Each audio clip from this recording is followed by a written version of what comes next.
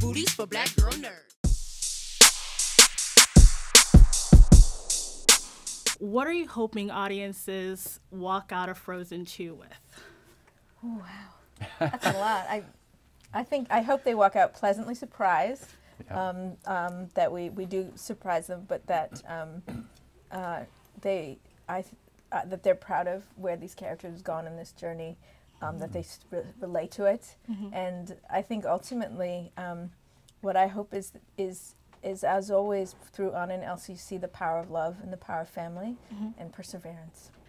And what do you look for doing a sequel, an animated sequel, with the characters and how you hopefully they hold true to the characters we all fell mm-hmm. in love with, but also show that growth and development after they've clearly been through something in the first one. Mhm. Well, that is Yeah, the it challenge, is is the challenge. staying true to the character, mm-hmm. but yet letting them grow. Mm-hmm. And I think some of that is, you know, it's also inspired by our own children. You know, you can look at our kids. Our kids are all growing up, and they're still the same kids when they, you know, same personalities, but now they have all these, uh, you know, challenges ahead of them, all these uh, steps into the unknown, all of that, which are exciting. But and so you can look at their their lives and be inspired by that, and um, and also not being afraid to take risks when it comes to uh, our characters and the story and pushing them to places that perhaps you know they may not feel comfortable, but we know they're they're capable of. Yeah. And you mentioned some of the questions that people had on your travels and whatnot, and one of them is mostly where did Elsa get her powers? Are there any questions that you had after the first one that may or may not be in the film? Well, there certainly were a lot of Yeah, things that we talked about when we started to look at it from Anna and Elsa's point of view. Where are the parents going when the ship went down? Is there anything? Is there s- uh, happily yeah, ever such a thing after? of happily ever after. I think that the concept of, um, for me, in a big way, Elsa has been accepted for having her powers. Anna finally has her sister, but um, why was Elsa born that way? Why wasn't Anna born with powers? What are they meant to do with their lives? And I think, you know, how does Kristoff fit in that? You know, um, uh, they were at the beginning of their relationship. Uh, uh, for in so many of that, for all of them was the beginning of the relationship. Even Olaf had just been born. so um, to really see that family grow, and to see how change affects families, um, I think that was the biggest thing for us. Is, is is that we say happily ever after, but we know the world changes like that, Yeah. and um, and has a huge effect on you and your family. And and looking at it that way, I think was um, we all right away said that's where we need to go. Yeah. And with a lot of the new technology out there, and I know virtual reality was mentioned, how does that affect the way you guys approach an animated movie?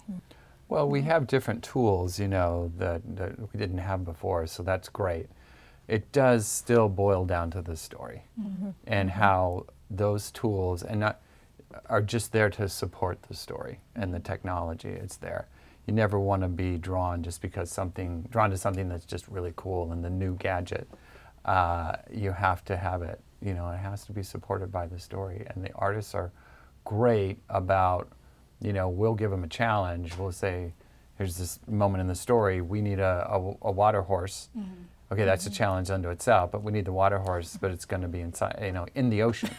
so we got water on water, in water, and, and they're just like, okay, let me take it. And they do, and they do an incredible job. Yeah. Mm-hmm. How do you feel when you see these kids and even adults uh, just interacting with your characters in a way that's just pure love and mm-hmm. respect? How do you feel about That that? was one of the fun things about when the first movie came out mm-hmm. is we were able to watch the audience reacting to the movie and to the mm-hmm. characters and and it, it was clear to us that they have now made the movie their own. Uh, and it was fun to fun for us to watch that. And we recently, um, because we're just starting to show some audiences, and we recently, I loved the moment where I watched this dad who at the end was just talking, was so passionate about it. And he was saying, and you know, and Anna, she's fearless, but now she has stuff to lose. And Elsa, she's like, she needs to do that calling, but it could be dangerous. And he's like, the way they, and he's talking, and I'm like, he knows them as well as we know them. he and he really cared about them, and he and that that was a, seeing those moments when you see the ownership, as you mm-hmm. said, and you see, but you see them caring deeply and for them and their journey. It's it's uh, it's an overwhelming feeling, and it's you just feel. Um, I think that's when you realize what you get to be part of every day. Yeah. Okay, last question. So, Jennifer, what advice would you give women making their way up in the animation industry? Ooh, the I think I, a little bit of advice in the sense of never give up. I, there are going to be a lot of no's. That's okay. But don't be afraid of mentorship and taking notes and critique.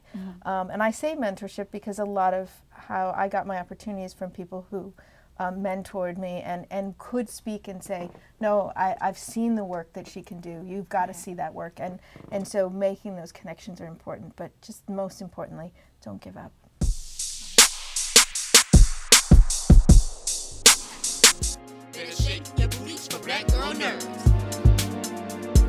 Shake your booties for black girl nerds.